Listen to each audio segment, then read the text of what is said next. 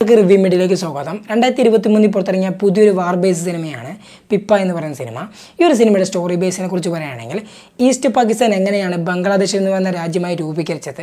അതിൽ ഇന്ത്യയുടെ പങ്ക് എന്നാണ് ആയിരത്തി തൊള്ളായിരത്തി എഴുപത്തൊന്ന് കാലഘട്ടത്തിൽ ഇന്ത്യയും പാകിസ്ഥാൻ തമ്മിൽ യുദ്ധവും കാര്യങ്ങളും നടന്നിട്ടുണ്ടായിരുന്നു. അപ്പോൾ അത് എന്തിനൊക്കെ എന്തിനെ ചൊല്ലിയാണ് യുദ്ധവും കാര്യങ്ങളൊക്കെ നടന്നത്? അങ്ങനെയുള്ള കുറച്ച് കാര്യങ്ങളൊക്കെ പറഞ്ഞു പോകുന്ന സിനിമയാണ് പിപ്പ എന്ന് പറയുന്ന സിനിമ. ഈ ഒരു സിനിമയിൽ ഈ പിപ്പ എന്ന് വിളിക്കുന്നത് യുദ്ധത്തിനൊക്കെ ഉപയോഗിക്കുന്ന ഈ ഒരു ടാങ്ക് ഉണ്ടല്ലോ. അപ്പോൾ ഈ ഒരു ടാങ്കിനെയൊക്കെയാണ് പിപ്പ എന്ന് വിളിക്കുന്നത്.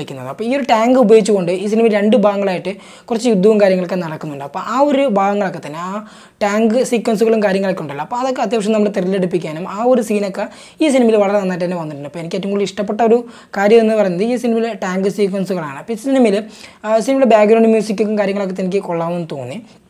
സിനിമയിൽ ഒരുപാട് ഇമോഷണലി കണക്ട് ചെയ്യാവുന്ന കാര്യങ്ങളൊന്നും ആയിട്ട് ഒന്നുമില്ല. കാരണം ജവാൻ മരിക്കുന്ന ഒരു സീനുണ്ട് അത് മാത്രം കുറച്ചൊന്ന് ഇമോഷണലി ചെറുതായിട്ട് നമ്മൾ കണക്ട് ചെയ്യുന്നതല്ലാതെ പ്രത്യേകിച്ച് ഇപ്പോൾ ഫോർ എക്സാമ്പിൾ ഈ സിനിമയിൽ ബംഗ്ലാദേശിലെ ആളുകളൊക്കെ ആളുകളുടെ അവസ്ഥയും കാര്യങ്ങളൊക്കെ ഈ സിനിമയിൽ കാണിക്കുന്നുണ്ട്. അതൊന്നും അത്ര വലിയൊരു സ്ക്രീനിലോട്ട് വരുന്ന സമയത്ത് അത്ര വലിയൊരു ഇമോഷണലി കണക്ട് ചെയ്യാൻ പേഴ്സണലി എനിക്ക് പറ്റുന്നില്ല.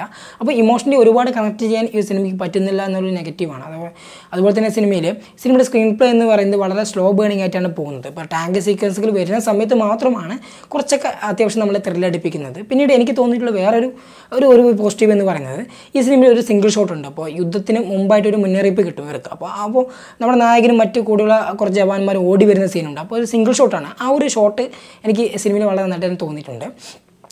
മുഴുവനായിട്ടും ട്രെയിലറൊക്കെ കണ്ടപ്പോൾ ട്രെയിലറൊക്കെ കണ്ട ശേഷം എനിക്ക് കുറച്ചും കൂടി എക്സ്പെക്ടേഷൻ ഉണ്ടായിരുന്നു സിനിമ കുറച്ചും കൂടി നല്ലൊരു ചിത്രമായിരിക്കും നല്ലൊരു ഇന്ത്യൻ വാർ ബേസ് സിനിമയായിരിക്കും എന്നുള്ളൊരു എക്സ്പെക്ടേഷൻ ഉണ്ടായിരുന്നു. പക്ഷേ അത്ര വലിയൊരു ഇമ്പാക്റ്റ് ക്രിയേറ്റ് ചെയ്യാൻ ഈ ഒരു സിനിമയ്ക്ക് കഴിഞ്ഞിട്ടില്ല. പക്ഷേ ഈ പെർഫോമൻസ് ബേസ് എനിക്ക് ആരും കുറ്റം പറയാനില്ല. അപ്പോൾ ഇഷാൻ ഈ സിനിമയിൽ ബൽറാം എന്ന കഥാപാത്രമായി അവതരിപ്പിക്കുന്ന ഇഷാനാണ് അദ്ദേഹം ഭയങ്കര നന്നായിട്ട് തന്നെ സിനിമയിൽ അവതരിപ്പിച്ചിട്ടുണ്ട്. അതുപോലെ തന്നെ മൃണാൾ താക്കൂറും നന്നായിട്ട് തന്നെ സിനിമയിൽ അഭിനയിച്ചിട്ടുണ്ട്. ഈ രണ്ട് കഥാപാത്രമാണ് എനിക്ക് കുറച്ചും കൂടി നന്നായിട്ട് തോന്നിയിട്ടുള്ളത്.